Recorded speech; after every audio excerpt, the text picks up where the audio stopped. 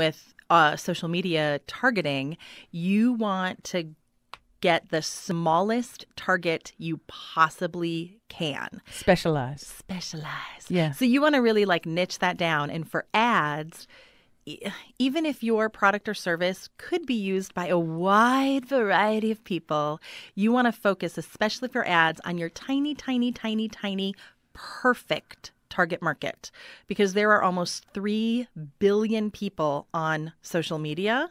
Yes. So you don't need to, nor do you want to target 3 billion people. Right.